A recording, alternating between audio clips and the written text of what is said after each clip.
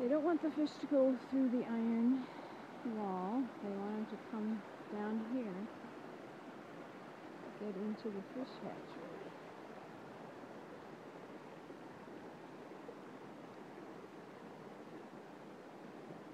I just got